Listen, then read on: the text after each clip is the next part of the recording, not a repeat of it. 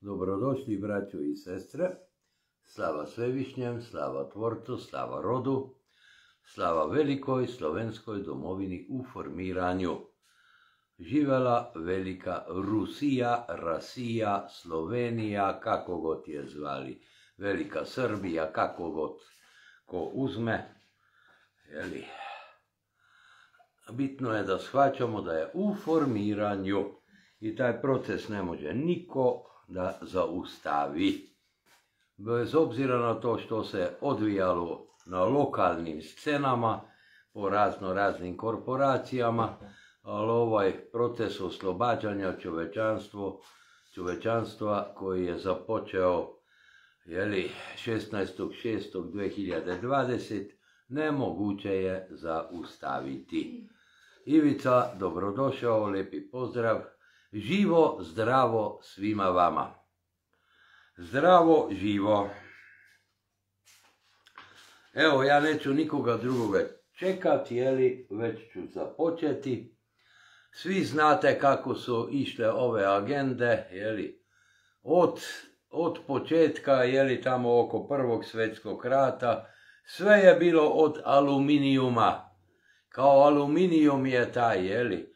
I šta smo dobili? Dobili smo dve generacije populacije koje su imale e, teških nervnih problema, jeli, e, od Alzheimera pa nadalje, ne?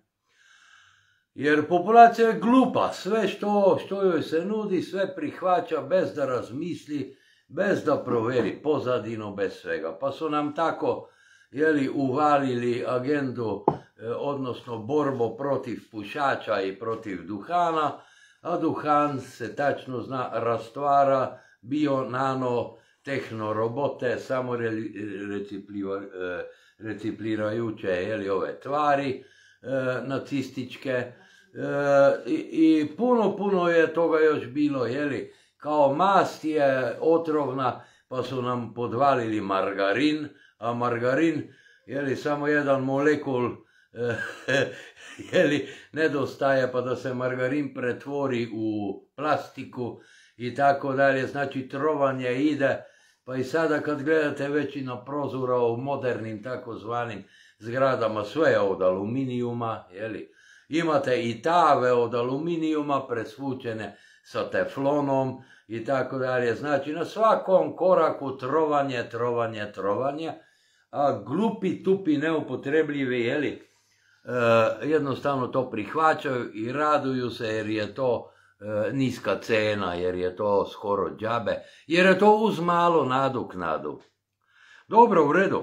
Tako su nam sjebali i benzin, koji je prije imao olovo u sebi, jeli, tako da kad, kad se taj benzin zabranio, jeli, nastali su uvjeti da radari besprekorno rade, a ti radari ne rade ništa dobro, nepotrebni su, osim ovim jeli, gazdama, osvajačima, košćejskim prostitutkama i tako dalje, jeli, e, ovom zločinačko e, NATO paktu i tako. Ne? Dobro, pustimo to, jeli, znači sve što je to je Sergej Nikolajević Lazarev, jeli, e, lepo objasnio, ne? Sve što je kao, kako to da kažem, ne? Trend. Svi trendovi su sotonin rad, sotonin posao i mi živimo u dobu sotonizma, priznali si to ili ne, i taj sotonizam utkan je u svaku poru društva. Evo ovako, E, samo se setite šta se radilo oko, oko holesterola e, i drugih stvari. Znači sve što se nametne, populacija prihvaća, onda se tu stvaraju nekakvi normativi, e, zaplašuje ljude i tako dalje. I ko, ko živi u uverenju da tamni nisu pobedili, taj je idiot, običan idiot. Pobedili su. Evo, tu imam ispred sebe objavu, danas sam dao to na svoj Facebook profil, ali postoje u zlovenščini, jeli, a svi ne znate, zlovenski, jeli, sintetički jezik, ne. Ja sam tu dao na Google prevod na hrvatski, pa ću se potruditi da vam to pročitam. tako da je svima razumljivo. Radi se o šećeru. Samo pogledajte koliko ima antisistem sa svim svojim ovim institucijama, doktorima itd. protiv šećera. A šta je u stvari šećer? Konačno jedna objava i skidam kapu. Evo ovako, kao nama šećer ne treba. Prije nego što počnem čitati moram objasniti jednu stvar. Šećer koji se prirađuje od, od repe ili pese, kako god je zovete, GMO, a većina šećera na tržištu je GMO. Taj šećer je kurac na batini. Taj šećer ne valja. A prirodni šećer od prirodne repe, od, od trsa cukarnog i tako dalje, ili šećer koji je u, u, u voću i i negdje i u povrću, znači govorim o fruktozi, o saharozi i tako dalje. Taj šećer je besprekoran. Pa i beli šećer nije otrovan ako nije od GMO ove pese, odnosno repe. Pa ću tu pročitati tekst i svako od vas neka sam razmisli o tome što će čuti i e, svako od vas ima pravo na svoj stav i raditi u svom životu šta god hoće, jer svako je odgovoran za sebe. Uglavnom, ajmo e, demistificirati šećer. Može? Evo započinjem. Još jednom svi ste dobrodošli. Tko se setio da se lekovite biljke stavljaju u šećer? Upitala je gospođa na svom predavanju. E pa, draga gospođa, ti pojma nemaš. E, sad ja njoj odgovaram tisućama ili hiljadama godina u kineskoj medicini, u tibetanskoj medicini i tako dalje. Sveta Hildegarda je pisala o delovanju šećera prije 900 godina, skoro hiljadu. Paracelsus prije nekoliko stoljeća. Toliko je meni poznato. Sveta Hildegarda kaže da šećer čisti pluća i mozak jer ubrzava izbacivanje sluzi iz pljuča. Ovdje ću odgovoriti i na dvosmiselnost oko mozga, koju spominjem u vezi sa džumbirom. Mozak mora biti vlažan, ako je isušen, prazan, ne možemo pravilno razmišljati. Ima problema s koncentracijom. Jasno je da se ne možemo emocionalno balansirati. Dehidracija može biti veliki problem, pa moramo paziti da i kod dece ne bude problema koji mogu uzrokovati začini, začini koji isušuju. Budući da se deci danas u velike uskraćuje šećer, to je također jedan aspekt uzroka slabe koncentracije i brojnih emocionalnih problema. Niko se dosad nije zapitao zašto za iskašljavanje tako dobro djeluju biljni siropi, naravno sa šećerom, oni sa šećerom, a ostali ne. Kada razumemo Paracelsusovo objašnjenje tri principa u našem telu, još više razumemo da su deca drugačija od nas starijih i trebaju šećera i masti, a mi ih dobivamo manje. Naravno, određene bolesti su izuzetak. To što deca imaju problema s kožom, posljedica je deficita jednog od energetskih principa u telu, a uzrok je između ostalog i nedostatak šećera u prehrani. Evo tu ću se zaostaviti, pa samo pogledajte, ne? Udarili su po šećeru, pogotovo preko ovih mengela u belim haljinama, jeli? i uveli aspartam koji je kancerogen i danas nema slatkiša u kome nema aspartama ili njemu sličnog sranja. Čak i lizalke od običnog šećera nećeš dobiti. Pa ću tu reći još jednu stvar. Kad sam ja bio dete, pa sam bio prehlađen, šta se uradilo? Karameli šećera Evo, svi imate priliku isprobajte. Sad dolazi polagano zima, Pa ako ste prehlađeni, uradite si karamel od belog šećera. Pa ćete vidjeti koji to efekat ima. Nećete verovat. Idemo dalje. Smeđi šećer je topao i sladak i djeluje na slezeno, želudac i na jetru. Koristi se kod oslabljenog želuca i slezene, kod bolova u trbuhu, kod mučnina i povraćanja, kod zastoja krvi zbog prehlade, menstrualnog poremećaja, menstrualnih grčeva, kronični proliv sa jakim bolovima u trbuhu te nedostatak apetita i žeđi, to sredi šećer. Kontraindikacije. Kod sluzi. Sluz znači da vlaga otvrdne zbog topline. Vlagu i unutranju toplinu. Znači, u tom slučaju šećer se ne uzima. Bolje se uskratiti šećera, jeli, ako imamo sluz, jeli. I ovo što sam pročitao, navedeno. Beli šećer je topao neutralan, sladak i vlaži pluća. Potiče izlučivanje sokova, ublažava akutnu bol, snižava temperaturu, transformira, transformira sluz, tonizira energiju u slučaju nedostatka energije i regulira energiju u slučaju zastoja energije u jetri, napetosti i bol u želucu. A koristimo ga e, kod suhog kašlja zbog suvoće u plućima. A danas većina populacije ima baš taj problem.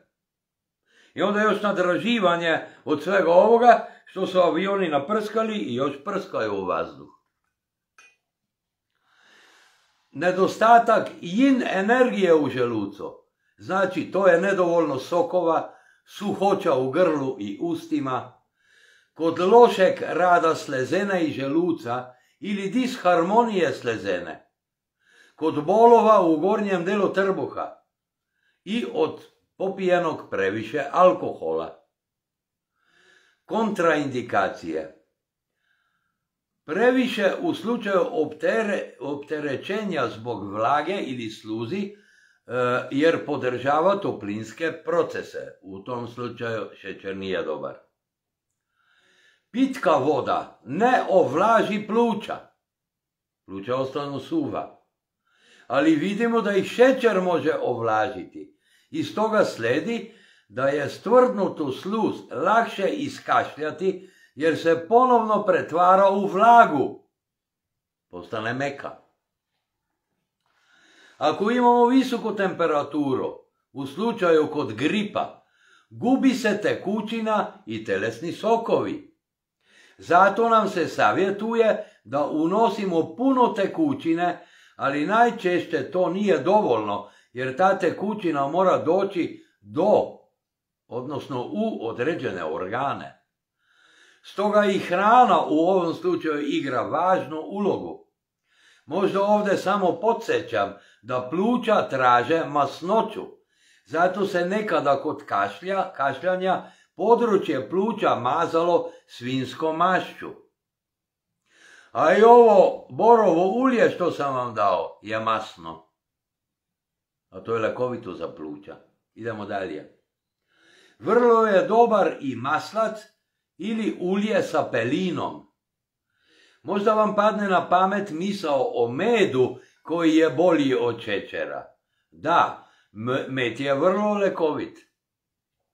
O njemu je već dosta napisano i niko ne sumnja u njegovu lekovitost. Samo je sveta Hildegarda imala rezerve prema medu. Ako ga koriste debeli ljudi, stvara sluz i truljanje. Med nije za debele, za gojazne ljude. Jer ste to negdje drugdje čuli? Ja nisam. Ne šteti niti koristi previše drugim ljudima. Znači koliko je med štetan ili neštetan, odnosno koliko je zdrav ili nije zdrav, to je veliko pitanje.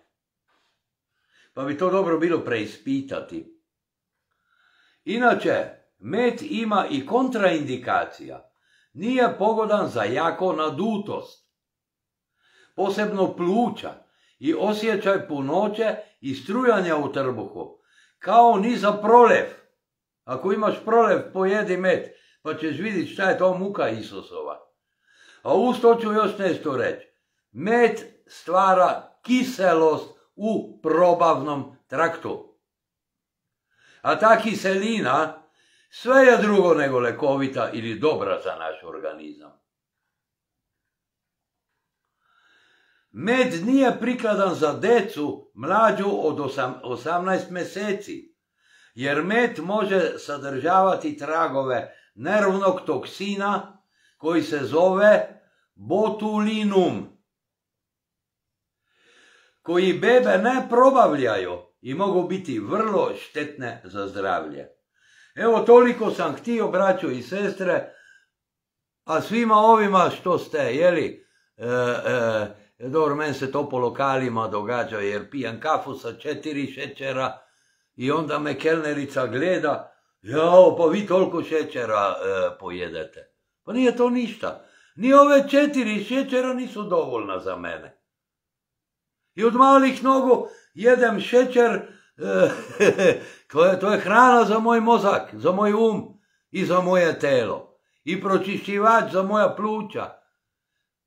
Slezena mi radi sto na sat.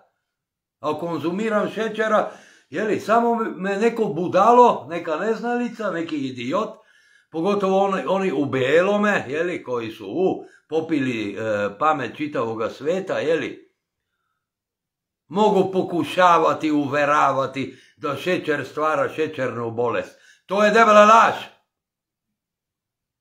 Šećer ne stvara šećerne bolesti. Šta stvara šećernu bolest? Suzbijanje života. Suzbijanje radosti. Suzbijanje smeha. A to je jednako samo ubijstvo. Radostan, veseo, rasterećen čovjek. Nikad nema šećerne bolesti. Ni on, ni njegovi potomci. Evo toliko za kraj. Sve vas puno volim, braću i sestre. Želim vam lepi dan i dobrodošli ste večeras, ako Dobrica stigne, pravovremeno na naše mračenje. Slava svevišnjem, još ćemo imati tabua da ih razbijemo, još puno njih. Jeli, slava svevišnjem, slava tvorcu, slava rodov, slava velikoj slovenskoj domovini u formiranju sa puno, puno ljubavi, braću i sestre. Još jednom dobrodošli večeras na mračenje sa bratom Dobricom.